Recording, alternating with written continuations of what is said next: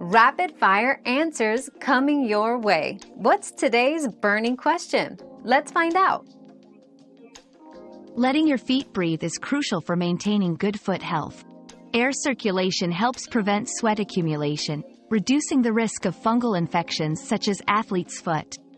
Proper ventilation also minimizes bad odor by discouraging bacterial growth.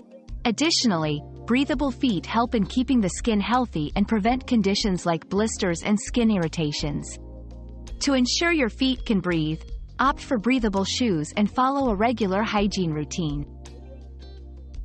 Your daily dose of discovery ends here, but the journey of learning never stops. Subscribe and join us again for more answers tomorrow.